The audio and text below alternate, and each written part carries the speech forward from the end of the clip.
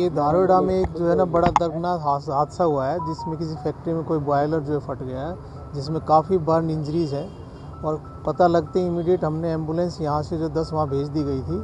वहाँ एक private hospital में पेशेंट एडमिट है, वहाँ उन्होंने कहा कि अभी स्टेबल है जी, रेफ़र करने की ज़रूरत नहीं, अभी एंबुलेंस की रिक्वायरमेंट नहीं है। तो उनको बता दिया, जब भी कोई ज़रूरत हो पता, यहाँ रेवाड़ी में भी आईएमए को हमने अलर्ट कर दिया, सभी हॉस्पिटल को अलर्ट कर दिया है कि इस तरह का पेशेंट जो डायरेक्ट वहाँ जाता है तो उसका अच्छे से केयर किया जाए।